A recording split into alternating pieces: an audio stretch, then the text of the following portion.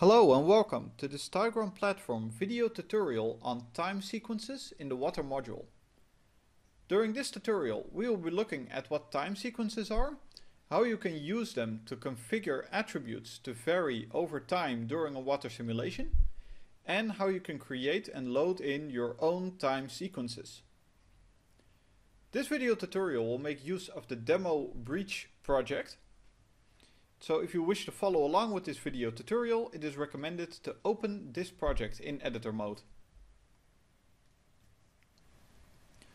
To start off with, the demo breach project consists of a small piece of the Netherlands with a central levee and configured in this project is a breach in that levee.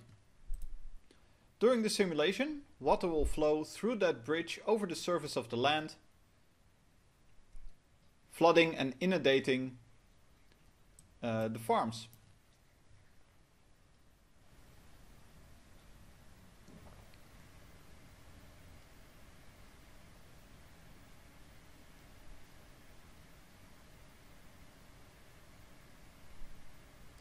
This is the basic setup of the project. We will be adding and tweaking a few elements in this project to demonstrate the principles of time sequences. To start off with the most used time sequence, specifically for rain, we're going to look at the water overlay without the breach active. To do that, we go to Overlays, select the flooding overlay, and then open the configuration wizard. In the configuration wizard, we select our breach area and temporarily set the breach height to a higher value.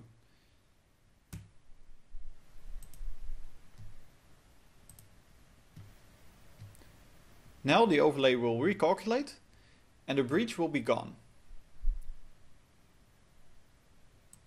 No more water will flow into this project via the breach for now.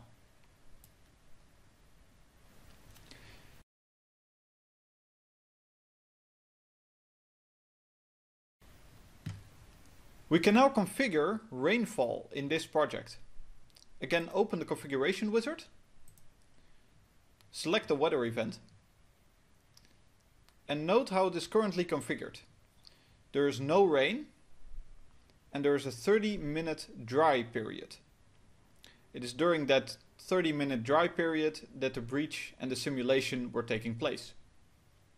There's also a consistent amount of evaporation of 1.496 millimeters per day. We're going to load in our own time sequence for the rain. Under normal circumstances, we can only configure a specific period with a specific amount of rain, followed by a specific dry period. The wet and dry periods are visualized in this graph over here,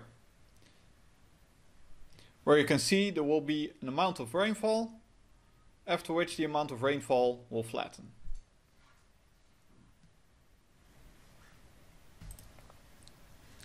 Instead, what we're going to configure is our own amount of rain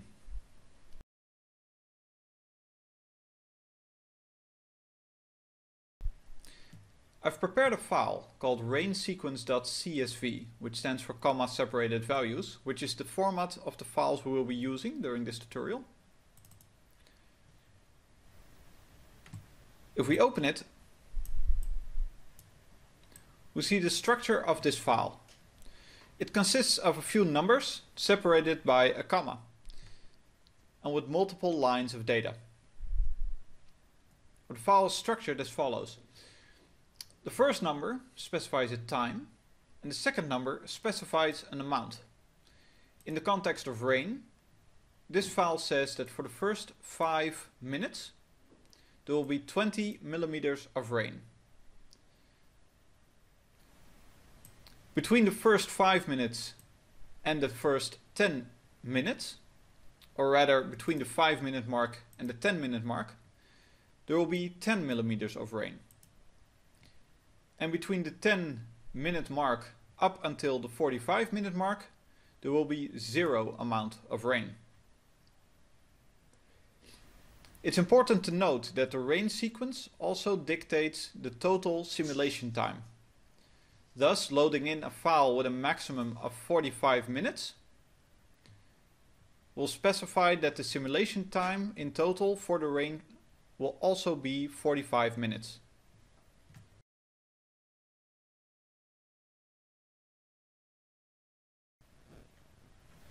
We're going to load in this file via the configuration wizard.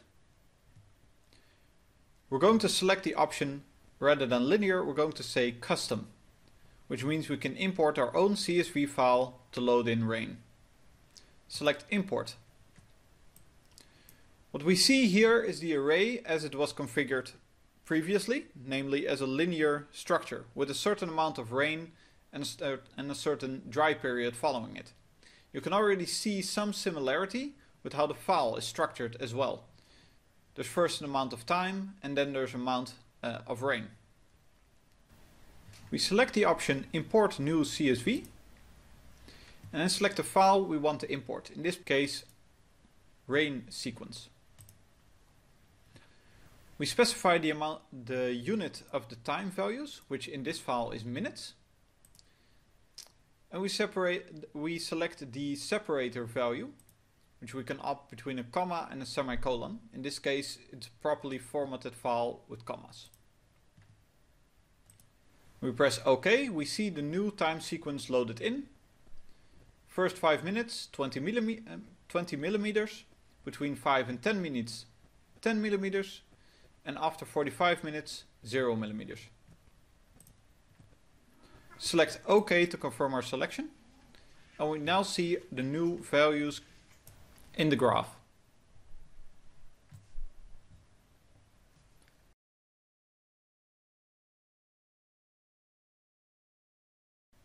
We can do the same for evaporation. We can set a custom amount of evaporation over time and import a CSV file for that. We have an evaporation CSV file prepared this one specifies that for the first 10 minutes there will be 1.1 millimeter of evaporation. Between the 10 minute mark and the 30 minute mark there will be 0.2 millimeter of evaporation. And between the 30 minute mark and the 45 minute mark there will be a 0.9 millimeter amount of evaporation. We import this sequence in the same way. It's minutes and it's commas.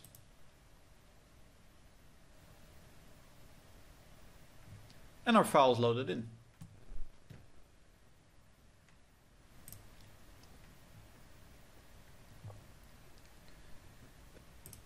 We can now close the configuration wizard and recalculate. After the calculation is complete, we can play our overlay and we can see that an amount of rain will fall on the terrain for about the first few minutes, after which the amount of water on the fields stays fairly constant. The only decrease in water that still occurs is due to evaporation, but those amounts are so little that you cannot really see that all that much. So by loading in these files we have created our own sequence of rain during the simulation. The files, to reiterate, are not that complex.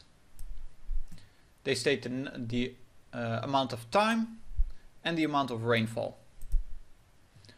You can open any text file or open a new text file.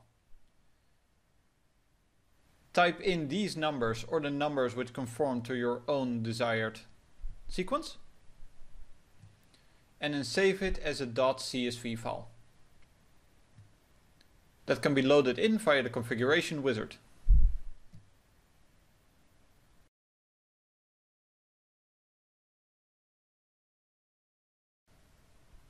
Besides rain sequences, it is also possible to use a time sequence to configure an attribute of a hydraulic structure or a hydrological feature to be dynamic over time.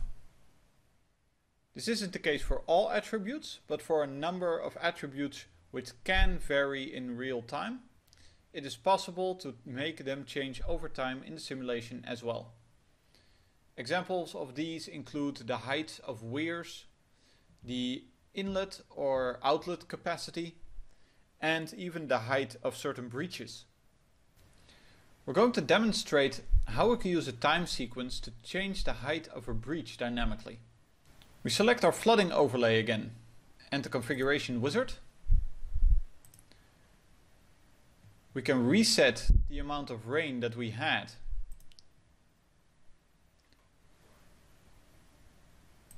Back to some zero value. And the same for the evaporation over time, which can be reset to a default amount per day. This means there will no, be no rainfall in our project, but instead we will be able to see what the breach is going to do. In the breach area step, we select our breach. We see a long list of available attributes for our breach. And the one that we can configure as a time sequence is the breach height. You can see that through the switch, which is currently set to fixed, which is the default, which means that it will only have one value for the duration of the entire simulation. Instead, we're going to set it to dynamic. Dynamic means that it's going to change during the simulation. And using the select option, we can configure how it changes over time. It looks comparable to our rainfall selection.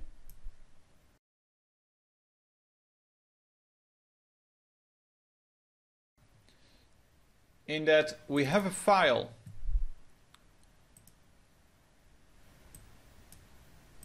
which shows the sequence that we want for the breach. Except the structure is interpreted slightly different when compared to the rainfall. For the breach, at 0 minutes, the breach height will be 2 meters and 50 centimeters.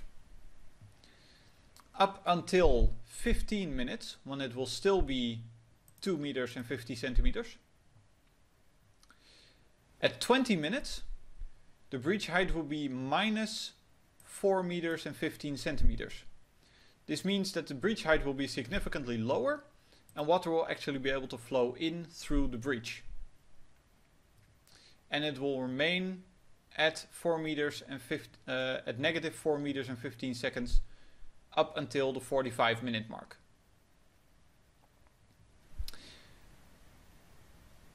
Between the 15 and 20 minute mark, the value for the breach height will be interpolated. Which means that at 15 minutes, it will be at 2 meters and 50 centimeters.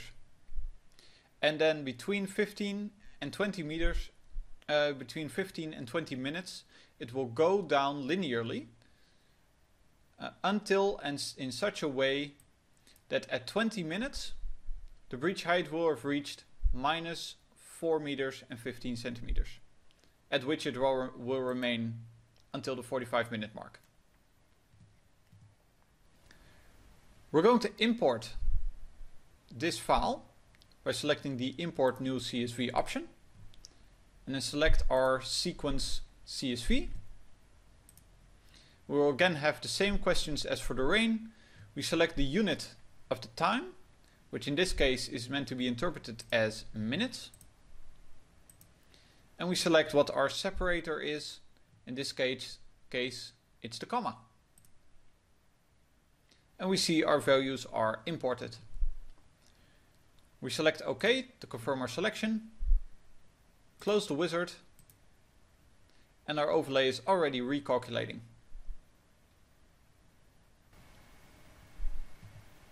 When the overlay has completed its calculations, we can play the overlay.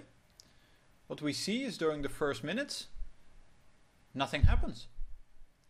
But as we get closer to the 20 minute mark, suddenly water will flow in through the breach across the surface of the land. We can even pinpoint the exact time frame where this happens.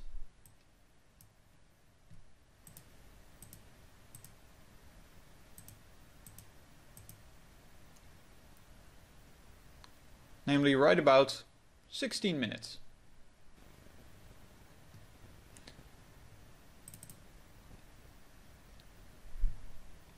This is because there is a linear interpolation between the 15 and 20 minute mark. It's not that after 15 minutes the breach height automatically plummets to 4 meters, but it slowly decreases. At the same time, the height of the water behind the breach is set to a water level of 2 meters. Which means that it's pretty soon that the water can already start to flow across the breach.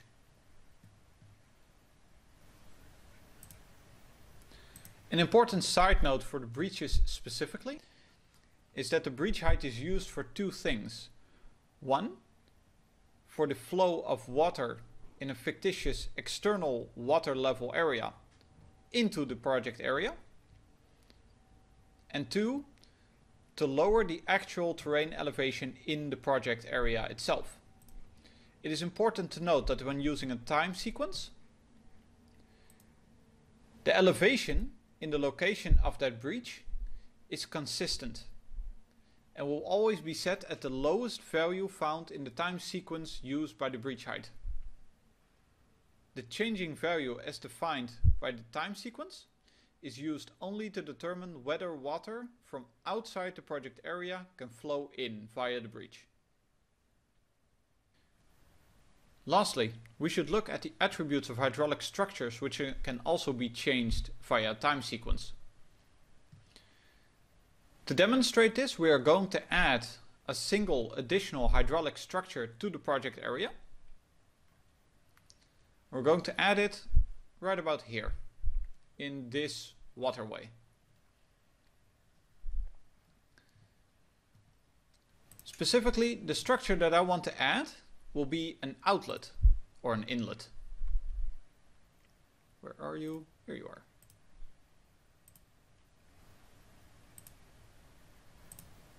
we're going to place it right around here.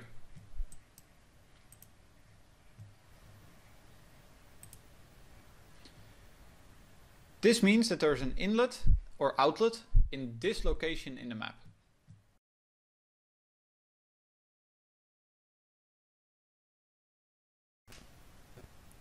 We can now configure the capacity of this inlet along with a number of other attributes. We again open the configuration wizard for the, for the overlay. And we go to the step for the inlets. We've added one inlet to the project, which means that there is exactly one available. It has a number of attributes. There's a capacity which can be set, and which can also be changed between fixed and dynamic. Thus, we can select a time sequence for it. We can also configure a time sequence for either the lower threshold and or the upper threshold as we desire. For demonstration purposes, we will only be setting the inlet capacity right now, but the same principles apply for the other attributes of inlets and also for the attributes of other hydraulic structures. For the inlet capacity, we switch from fixed to dynamic and we select select to open the import screen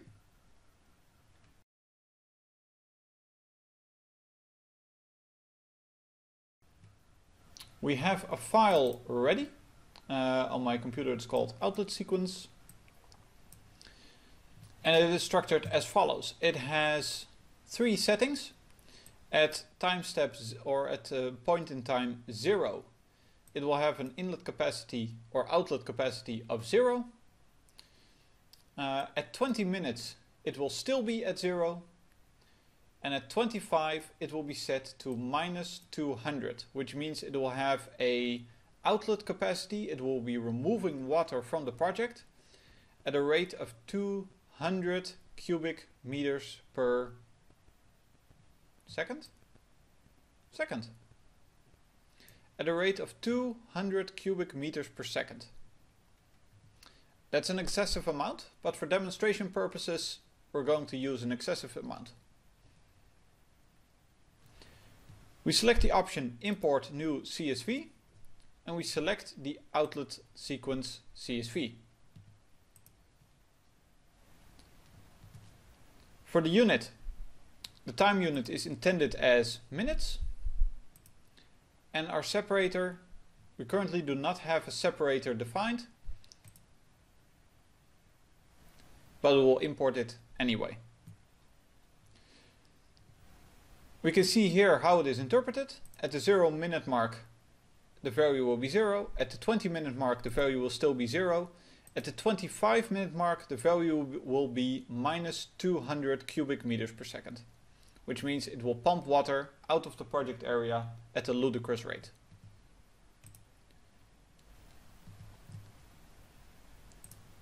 We can then close the configuration wizard and tell our overlay to recalculate. After a calculation is complete, we can play our overlay which will still make use of the breach with the time sequence.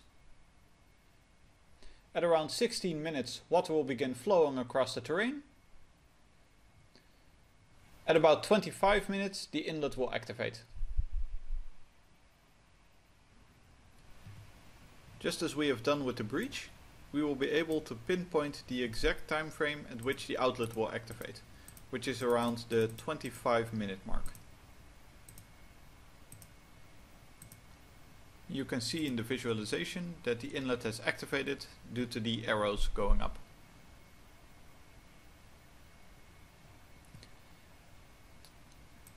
By placing a measuring point right next to the inlet, we can see the effect that or the impact that the inlet has or the outlet has on the total amount of water. To start the project off, there is no, uh, to start the simulation off, there is no water in this location until there's a sudden influx from the breach. And it is around the 25 minute mark that the inlet activates or outlet activates and suddenly the amount of water decreases drastically. After which there is a certain balance between the breach and the outlet as it attempts to pump away all of the water which is flowing in. That concludes this video tutorial on time sequences in the water module. If you are interested in any other facet of the Tygron platform or using the water module, such as what kind of other hydrological features or hydraulic structures exist for use in the water module, how evaporation or rain are calculated in more detail, or how to configure the water overlay for specific use cases Please refer to our educational materials on those specific topics or through the links provided here. Thank you for watching this video tutorial.